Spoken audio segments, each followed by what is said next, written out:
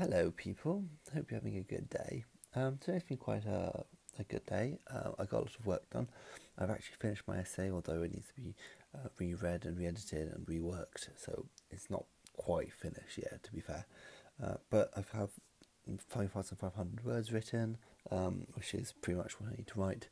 Um, and I've got a lot of references, so it was quite good actually. I'm quite happy and I enjoyed doing it, so hopefully the results will um, be good as well. Um, so that was good.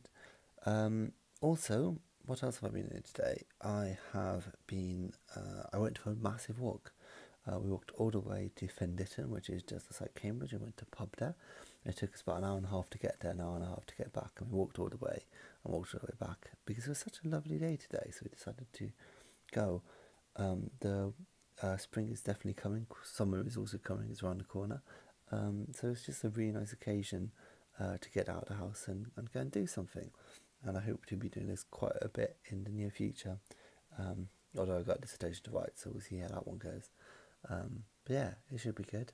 Um, the next couple of days, I'm still going to be writing this essay. I just want to make it as perfect as possible, and it needs a lot of re-editing. To be fair, um, as at the moment it's a bit um, rough.